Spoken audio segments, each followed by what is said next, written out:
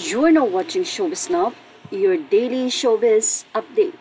Matapos ngang maaksidente sila Gigi Delana sa La Union habang papunta sa isang concert sa Ilocos Norte, ay nagtuloy pa rin ito sa kanyang konsyerto o sa kanyang gig na gaganapin nga doon. Ayon sa update, minor injury lamang ang tinamo ni Gigi Delana kasama ang kanyang mga members sa van.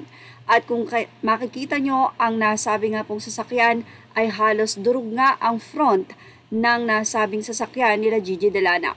Pero makikita naman sa loob na halatang okay naman ang mga nakasakay na may minor injury. Pero hindi nga inaasahan na sa kanyang pagkanta sa gabi ng pagkanta nitong si Gigi Delana sa concert ay hinimatay ito habang pinipilit pa rin niya na kumanta. Tila nahalata na nga ng mga kabanda niya ang tila nahihilong si Gigi at hindi na nga ito makaawit kaya naman agad-agad na nila itong pinuntahan. Dinala maaari si Gigi Delana sa malapit na ospital.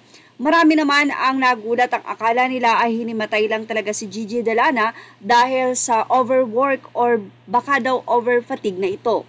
Pero mukhang ito ay isa sa naging cause ng kanilang pagka-aksidente.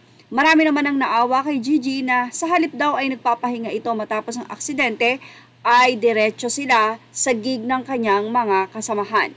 Samantala, narito naman ang naging say ng ilang netizen matapos nga nahimatayin si Gigi sa kanyang concert doon sa Ilocos Norte kung saan ay nagbigay nga ng simpatya at sana nga daw ay gumaling na kaagad itong si Gigi.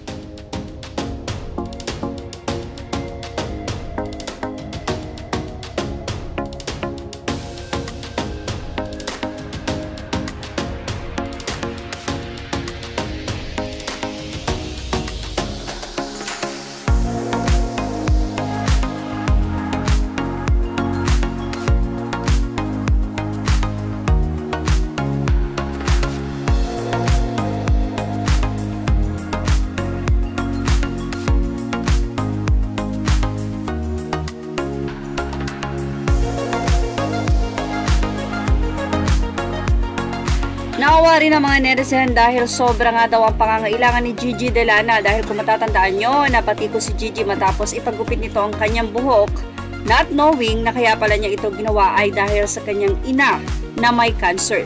Kaya naman sunod-sunod talaga ang pagtanggap ni Gigi ng gig dahil na rin sa ina na kanyang pinapagamot. Well, get well soon, Gigi, at sana'y maging maayos ang lahat. At lalo na sa kanya at sa kanyang mga kasama. At yan ang ating Showbiz Snap update. Images are all credit to the rightful owners and thank you for watching Showbiz Snap.